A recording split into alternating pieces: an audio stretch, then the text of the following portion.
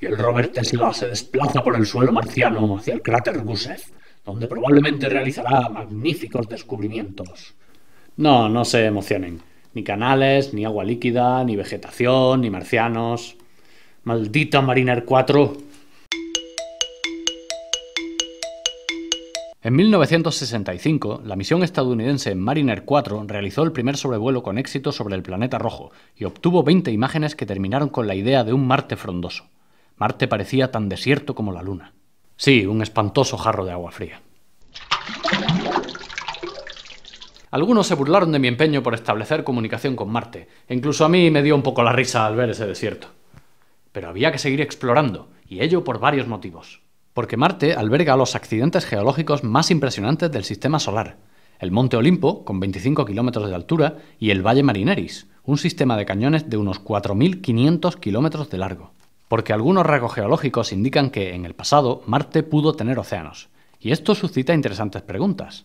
¿Qué ocurrió con el agua? ¿Se dieron las condiciones para que surgiera algún tipo de vida bacteriana? Porque tiene una atmósfera muy peculiar, cuya tercera parte se congela en invierno y se deposita en los casquetes polares y porque en Marte se forman tormentas de polvo que pueden cubrir todo el planeta durante días.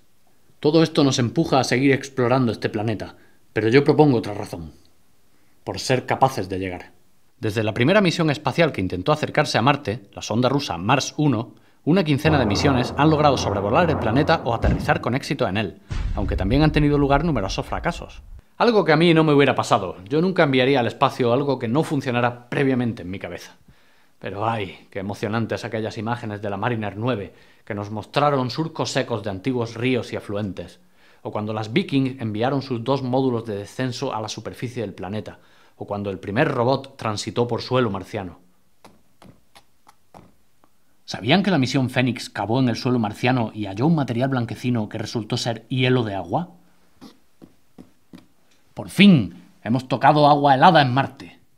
En apenas medio siglo de desarrollo de misiones a Marte, hemos pasado de tomar unas fotos de la superficie a enviar robots para que tomen muestras, las analicen y nos envíen los datos. ¿De qué seremos capaces en el siguiente medio siglo? Debemos ser ambiciosos. Yo mismo, cuando viajar al espacio era solo una utopía, desarrollé las herramientas para hacerlo. Entre ellas la radio o el control remoto.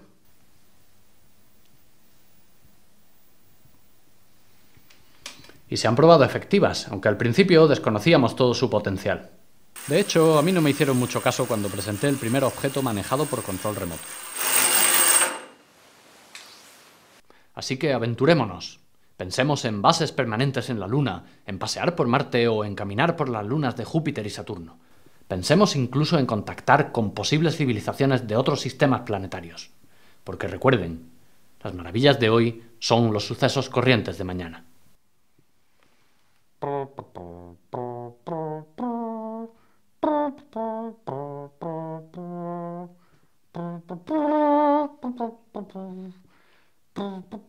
boom.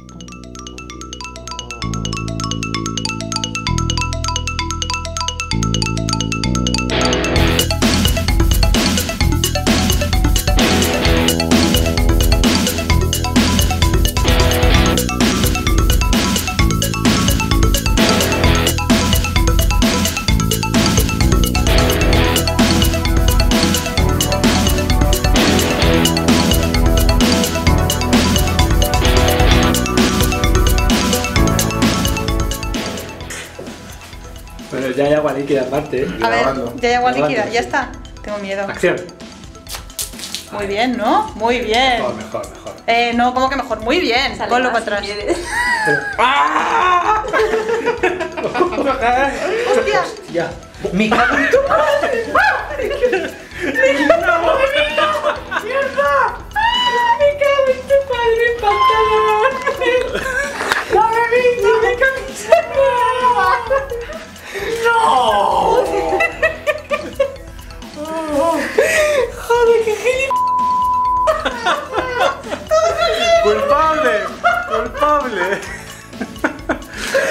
culpable mayor. Pero, perdona, pero yo creo que el culpable va a ser esta ¡No siento las piernas!